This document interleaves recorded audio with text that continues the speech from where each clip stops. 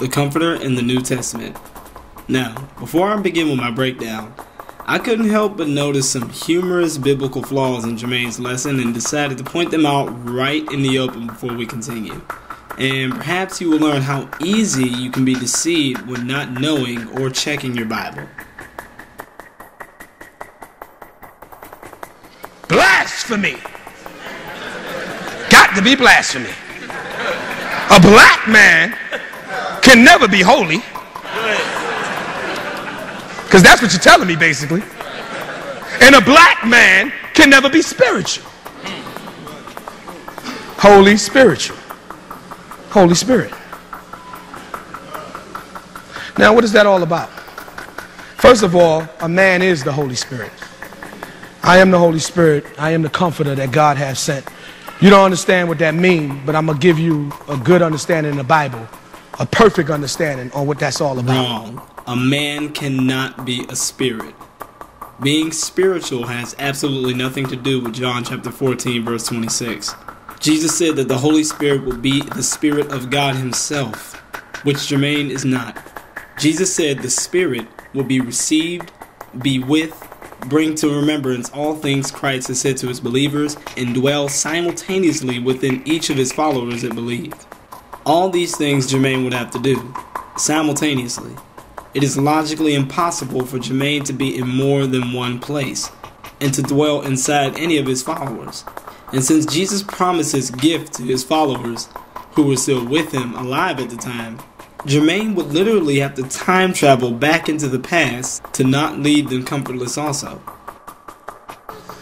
Nowhere throughout the scriptures did you ever feel or did you ever hear the Spirit of God being referred to as comforter. When you go back into the Old Testament, it was always the Spirit, the Spirit, the Spirit of God, the Spirit. When you get into the New Testament, you hear Jesus Christ put a label, put a title on that Spirit. He called it the Comforter. Now the question is why? Why did Jesus Christ do that? Why did he change? Why did he change the word and add a word? I think this is pretty explanatory. Lamentations here. Let's move on. In the same way Jesus Christ is the Son of God, the same way Jesus Christ is the Spirit and the Holy Spirit, he was still manifested in the flesh. He still was seen and walked among the people. He still was handled. Matter of fact, he told one of his disciples, handle me, touch me, for a spirit have not flesh and blood. Meaning he has risen from the dead. His disciples were astonished at his resurrection. He wanted them to touch him to prove that he was alive and well and not a spirit. In other words, he was saying in plain English that he was not dead. Did everybody understand that? Everybody got that, right? Okay, so now, read on. That he may abide with you forever. Okay, I'm gonna get back to that in a minute. Read on. Verse 17. Come on. Even the spirit of truth. Read on. Whom the world cannot receive. Okay, now.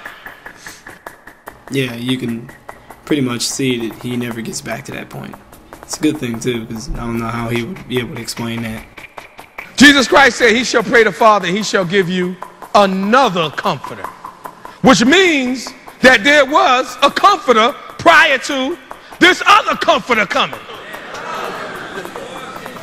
Now, the comforter is the Holy Spirit. We just read that in St. John chapter 14, verse 26. Everybody understand that, right? Who was the first comforter? And it bet not have been a man. No, the only comforter that could not be a man is the comforter Jesus said would come due to supernatural abilities which supersede any human being attempting to fulfill. He just pulled the most clever wordplay I have ever seen with my own two eyes. That comforter was none other than Jesus, the present comforter at the time, which I have already proven countless times throughout the first video. Now he is agreeing that the comforter is the Holy Spirit, but in past tense. This is where he just fooled an entire audience. John chapter 14, 26 speaks of the Comforter coming. Anyone decent in grammar can see that the verse is being used in future tense, saying things like, He shall teach you all things, etc., etc. Jesus even said, If I do not depart from you, the Comforter cannot come. Clearly meaning the Comforter or Holy Spirit was waiting for Jesus to leave so he can come as Christ promised. Who was the first comforter? Let's not, you know. Again, Jesus was the first comforter of the New Testament. Let's read it. Read it. Comfort ye! Comfort ye! Read it one more time. Comfort ye! Read it again. Comfort ye. Read ye! it one more time. Comfort ye! Read it again. Comfort ye. Read it ye! one more time. Comfort ye. Read it again. Comfort ye! Stop. John the Baptist quotes the exact point of where the prophecy of his life begins. I had already pointed out that the first two verses were spoken and commanded to the prophets of that day to comfort Israel at the close of their captivity. Why? Because of the coming of the Messiah. This is what verse 3 and on is talking about. The prophets were the comforters, bringing the prophecy of a coming messenger who will pave the way for the Messiah. This is a story that has never been changed or purposely altered by man until now.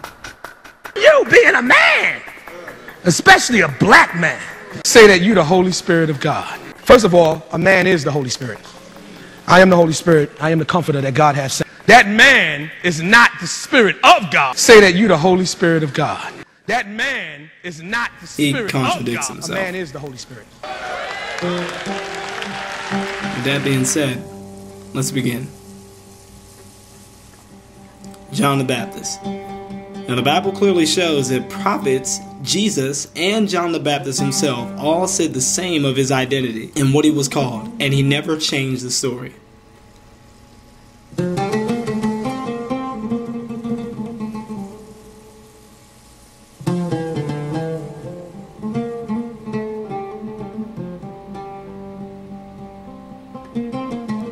Clear that these three verses show that John the Baptist was called the voice.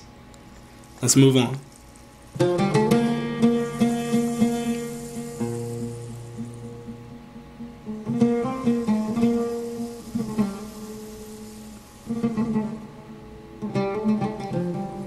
It's clear once again that John the Baptist is called the messenger. Let's move further to some other verses. But you know, before we do that, let's look up the meaning of the word messenger. I found that to be interesting. We have Hebrew word number 4397. It basically is a word that is pronounced malak from an unused root, meaning to dispatch as a deputy, a messenger, specifically of God, that is, an angel, also a prophet, priest, or teacher, ambassador, angel, king, messenger. Let's move on.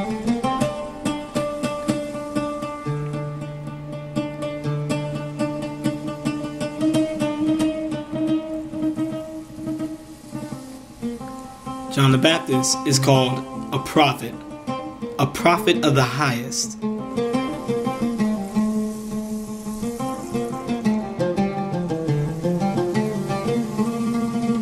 John the Baptist was called Master.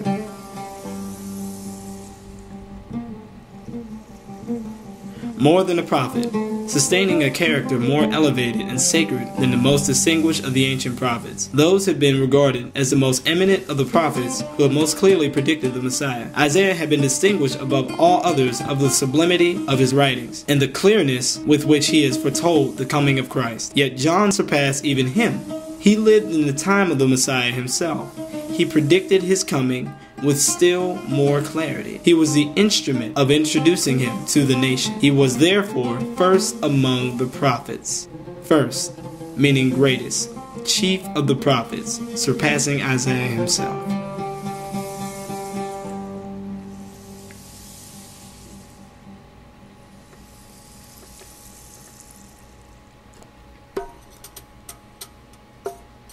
I thought this verse was interesting. Um, only the lowest beings in heaven are greater than John, coming from the words of Jesus. This will classify him as a prophet of the highest. So, John the Baptist was called the Baptist, the prophet, the messenger, the voice, master, even the prophet of the highest.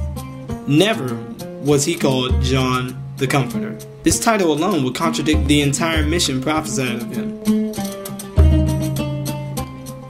Never a comforter. In the Old Testament, a comforter restored the spirit of Israel. The New Testament speaks of a comforter having roles, functions, and abilities described by Jesus and by the gospel writer Matthew, who spoke of the Holy Spirit being active long before John or Jesus were both adults.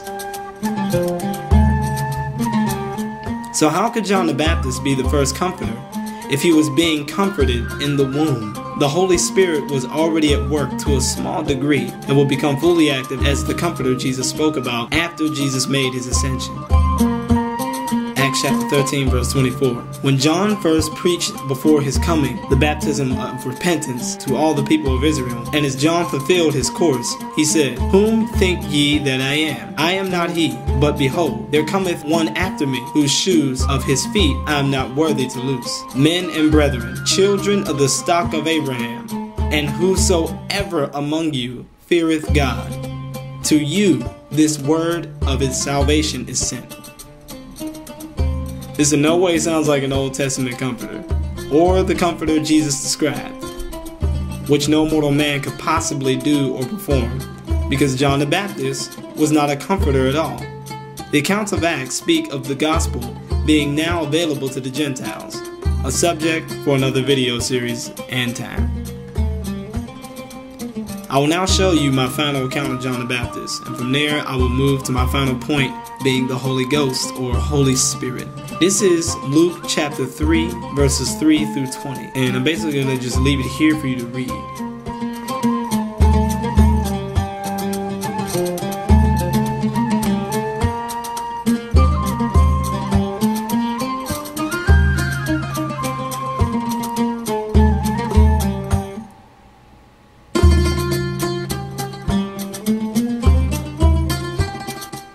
The verses do not depict a comforter at all, but match the descriptions of what the Bible says John the Baptist is, and nothing else. I will now move on to the Holy Spirit.